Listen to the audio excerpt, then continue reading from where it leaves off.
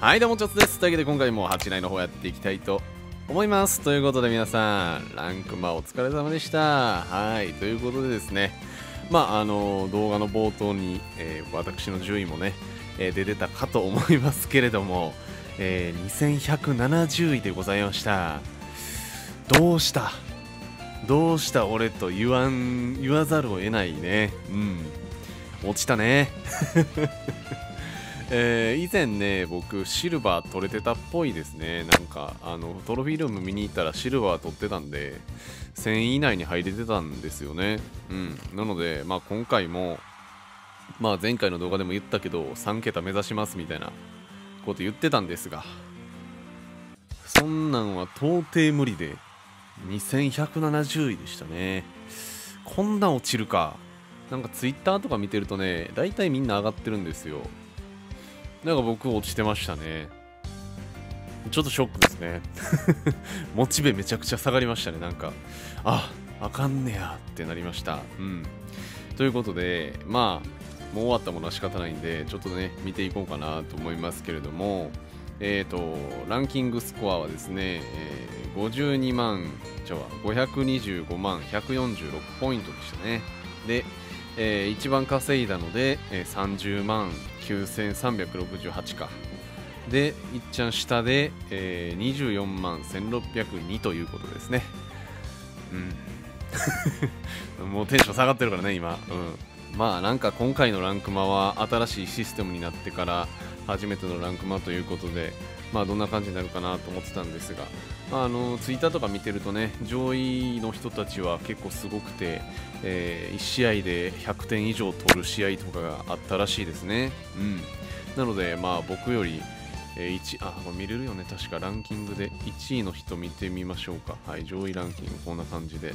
えー、ございました。1位の人ね。はい。僕、僕のダブルスコアより上っていうね。すごいよね。えぐいもん。すごいなっていう感じで、まあなんかこれが僕の実力みたいです。はい。まあ調子がどうとかもね、えー、ま細かくはあるんですけど、まあ言い訳にしかならないんでもう言わないですけどね。うん。もうさらにショックなのが、いつもね、そんなに気合い入れずにランクマ挑むんですよ。うん。まあランクマもあるよねぐらいの、そんなランクマに命かけずに、まあ、やってる人間なんで、えー、そんな結構あのもう選手に任せるで、えー、もうオートでね、えー、回しちゃうみたいなことをやっててそれでもね3桁取れてたんですよねシルバーか、シルバー取れてたんですけど今回は結構気合い入れてたんですよ、うん、8割のモチベ結構あってまあこれはちょっと1試合ずつしっかりとえー、じっくりやっていこうかなみたいな感じで、えー、ちゃんとねあの1人ずつ操作してやってたんですけどそれでこの順位やったんで、結構ダメージきてますね。うん。まあ、これが現実ということで、えー 受け入れていかないといけないんですけど、まあ、えっ、ー、と、成績見てみよっか。誰がどんだけ打ったかとかね。うん。まあ、人と比べててももう仕方ないので、まあ、自分のチームの中で誰がどのくらい打ったかっていうのをちょっと見てみましょう。はい。ということで、えー、対象時88試合。あれ ?89 じゃなかったっけ？あれ1試合やってない？いや、そんなことないはずなんで。なんか、なんかあるんかな？まあまあまあいいや。うん、ということで、まあ見ていきましょう。えー、ということでですね、まあ一番、まあ軽く見ていきましょうか。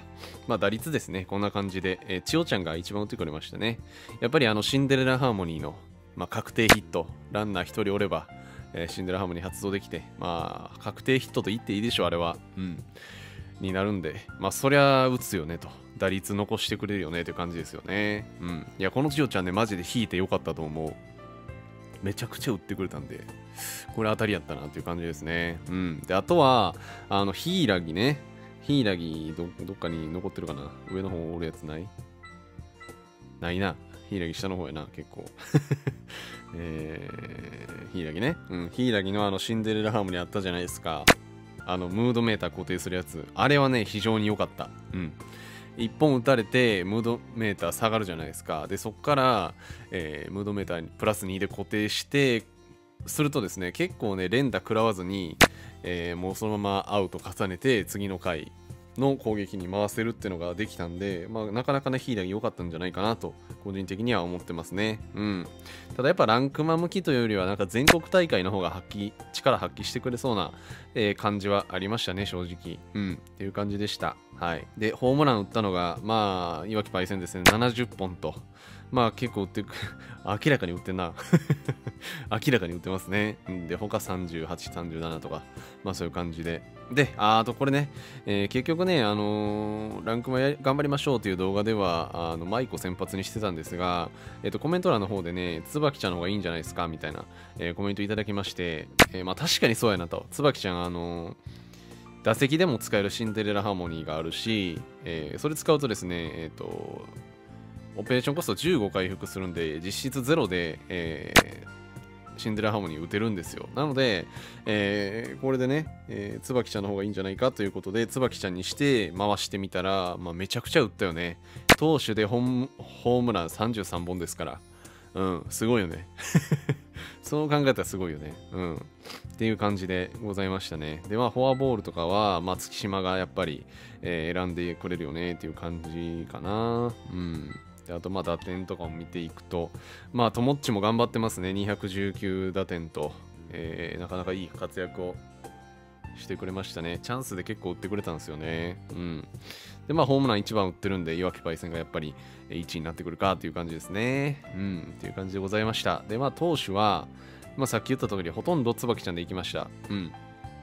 で、やっぱりは何試合かオートで回してみたりすると、えー、やっぱり勝手に変わるじゃないですか。なので、まあ、マイコが投げてたりもしますけど、まあ、椿ちゃんだけ見てたらいいかなという感じですね。まあ、防御率は1.95で、まあ、なんとか1点台に抑えれてたりとか、まあ、よく頑張ってくれたんじゃないかなと思います。はい。っていう感じですかね。うん。まあ、印象に残ってる相手といえば、まあ、長戸にめっちゃ打たれたっていうイメージはあるな。うん。長戸やっぱすげえやなって思いましたね。はい。っていう感じで、えー、ございました。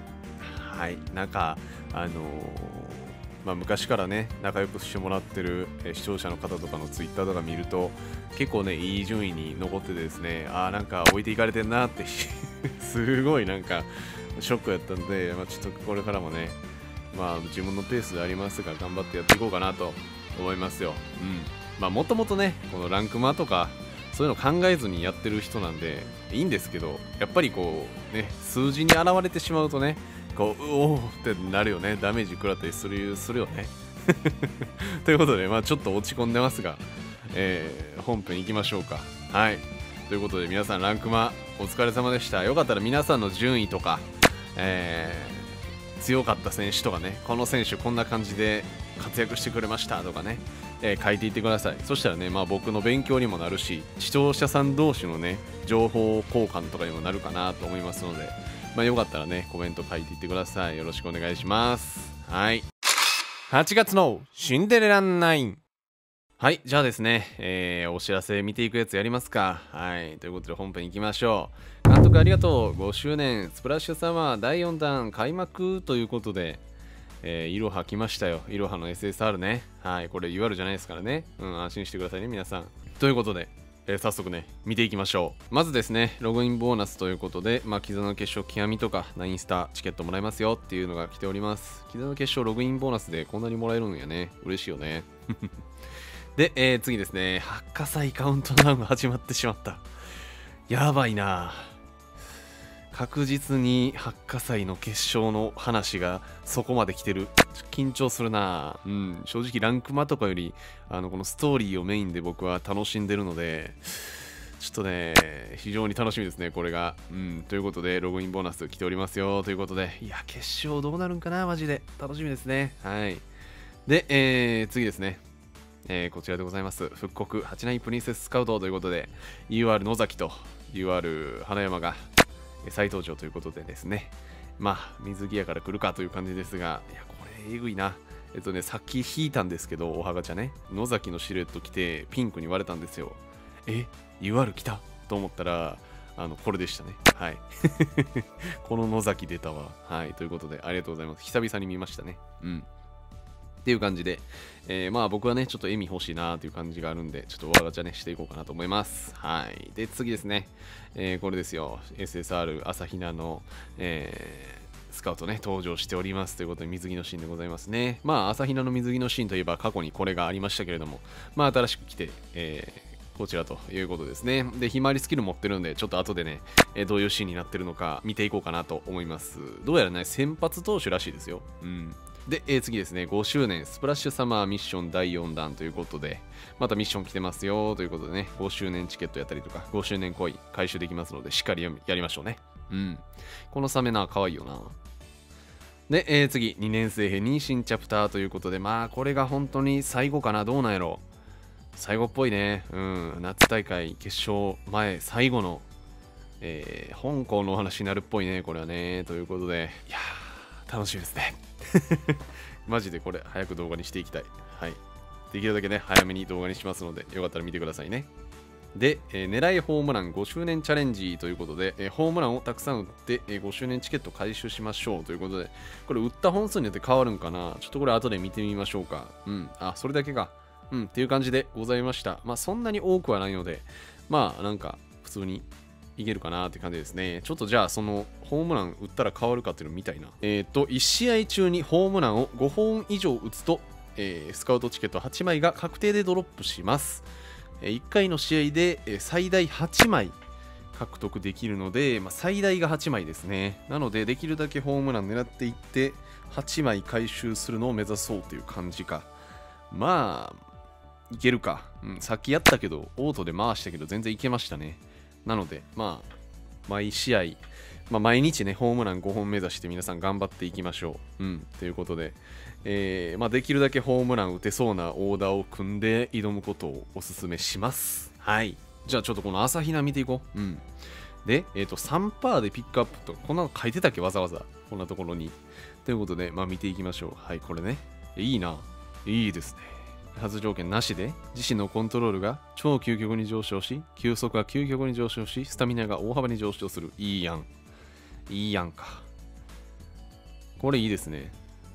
なんかこれが来るってことは次の UR 投手？来るんかな？どうなんでしょうか。楽しみですね。という感じでございます。で、えー、変換コイン30ポイントで変換できると。なので30連でこのイロハ確定で回収できますのでまあ欲しい人はねえ30連してみてはいかがでしょうかという感じでございます。はい。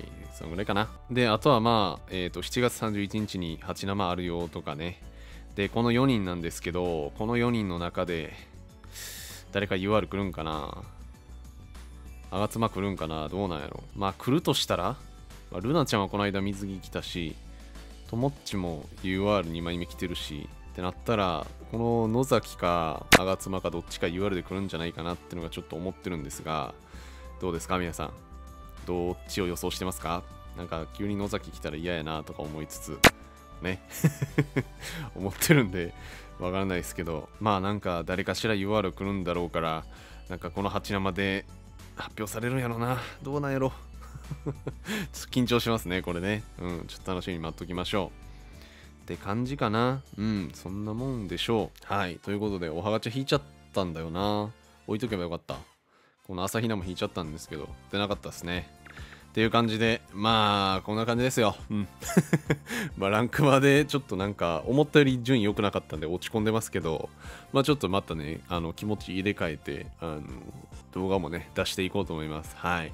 ということで、えー、まあ、これいつ上がってんやろ明日の朝かな？今日の夜かな？頑張ってここから編集して、今10時半やけど、頑張って編集して出すんかな？わかんないですけど、えー、見てくれてありがとうございました。ということで、えー、よかったらね、コメント書いていってください。はい、ということで、えー、ご視聴ありがとうございました。チャンネル登録、高評価の方よろしくお願いします。Twitter もやってます。Twitter は概要欄に貼ってますので、ぜひフォローの方よろしくお願いします。ということで、また次回の8月のシンデレラ9でお会いしましょう。以上、つせみなみすいさんの上手でした。バイバイ。